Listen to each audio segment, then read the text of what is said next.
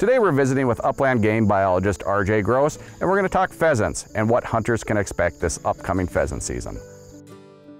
I'm Mike Anderson with the North Dakota Game and Fish Department.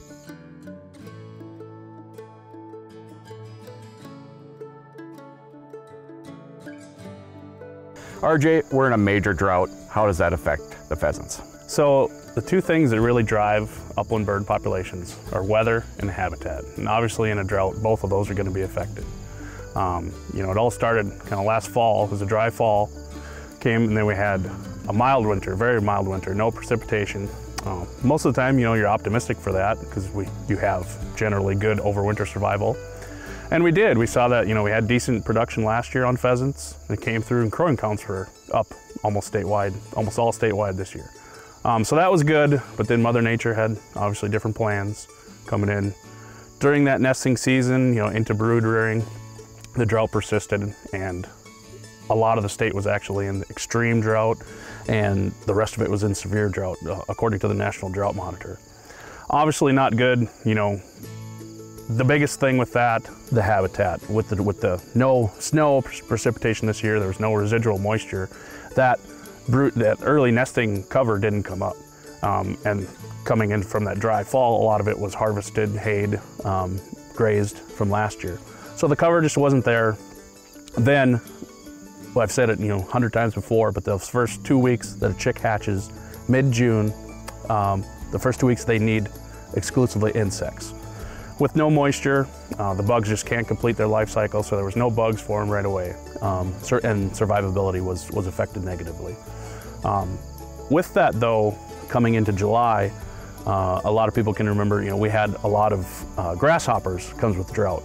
So hopefully, and it, it came out in the surveys that those, that second hatch, even though smaller clutch sizes, you know, not as many chicks, uh, they had food uh, to survive. So, so that's, that's some positive to come out of the drought. RJ, you just finished your late roadside summer brood counts. Uh, tell our viewers how you conduct those yep. surveys. So it's the same routes that we do as our crowing counts in the spring. They're 20 mile routes uh, in pheasant habitat and we drive 15 miles an hour. Uh, when we see an upland brood, an upland bird, we'll get out, we'll clap our hands, stop our feet, get them to flush, flush if there's any chicks. We'll count, you know, by species, if it's a rooster, uh, a hen, and then brood, brood size, how, how, how, old they are. And we'll tally that and we look at three metrics when we're looking at the pheasant population. We're looking at pheasants per 100 miles, broods per 100 miles, and average brood size. RJ, with the drought, the, the uh, ditches were hayed, like you mentioned, mm -hmm. uh, not a lot of dew. How does yep. that affect the surveys? Yep, the best mornings for surveys are clear, calm, and heavy dew on the grass. Uh, with no dew on the grass, you know, is poor survey conditions. So counts varied because of that. Um, and that's, that's due to the drought. And then, like, like, we talked about, a lot of the ditches were cut, um, a lot of field alfalfa, everything was cut, and just overall the vegetation wasn't as high. So those pheasants didn't have to come out to dry off, um, and you know, they, they, they were never really wet. So, like I said, that varies counts to the extent we don't exactly know, um, but but some of it, some of the decline can be attributed to that. Okay, let's talk survey results. You guys split your pheasant management areas in four districts. Mm -hmm. Let's start with the Southwest. Yep. So the Southwest, uh, compared to last year, was down just a little bit. Um, when we're talking about pheasants per 100 miles, and that's adults and broods, and then broods per 100 miles was down just slightly. Um, but um, a positive there was the average brood size was up um, just up a little bit, but that shows that the broods that were out there um, were, were, better sizes compared to last year. Um, they're still recovering, you know, the five-year average there, we're still down a little bit from there. Uh, they were hit the hardest in the 2017 year, the last time we had a drought. Um, but there are, so the very far southwest seemed to do better than as you're getting towards the central part of the state. And that's simply because they had rain down there. You know, they weren't in the extreme severe drought, things like that. So as if you get farther down into basically our four kind of heart counties down in the southwest, um, you should see some roosters. Okay, let's move north, northwest. Yep. Northwest, compared to last year, was down in, in all categories, but you have to, I have to remind people that last year was such a banner year for production. You know, it was very good, and, and all three of the upland birds did very well up there. Um, while everything was down, it wasn't down tremendously, just, just slightly. And kind of again, like the southwest, the very far corner, kind of above Williston, all the way up into the Crosby area. uh, did very well. Um, so th- there are going to be young roosters to be found up there. And they had moisture as well. Yep, yep, Okay, let's just move northeast. yep. In the northeast, you know, it's not traditional pheasant habitat. We say it every time. Um, most of that habitat is down south, right, right along I-94, and right along I-94 did okay this year.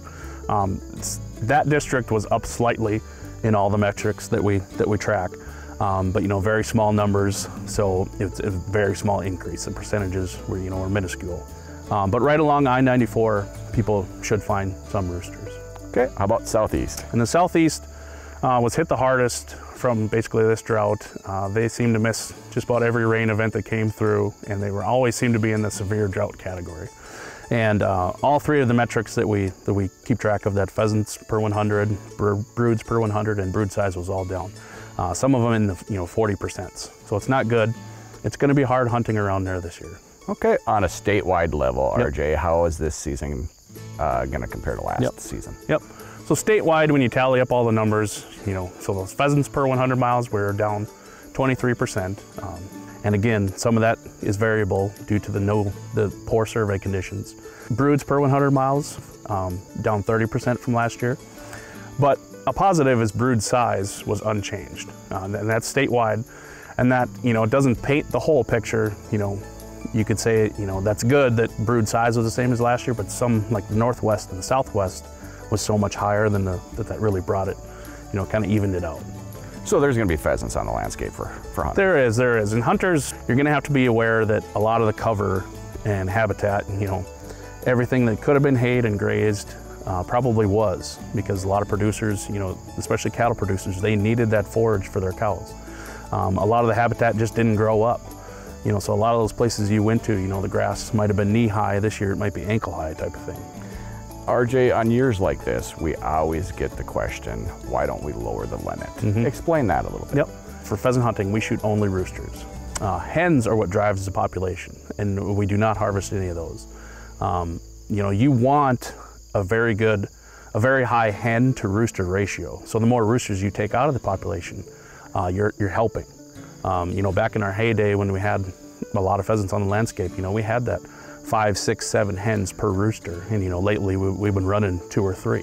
Really, the only thing that lowering the limit would do was spread out opportunity to, to, to other hunters. Okay, any regulation changes for this season? As far as limits, nothing, but uh, North Dakota now has electronic posting. So before you come out, before you plan your hunt, you know, pull up the computer, look at areas you want to go, and then also we have maps available on our phones that'll tell you lands that are electronically posted. RJ, what advice do you have for hunters this fall?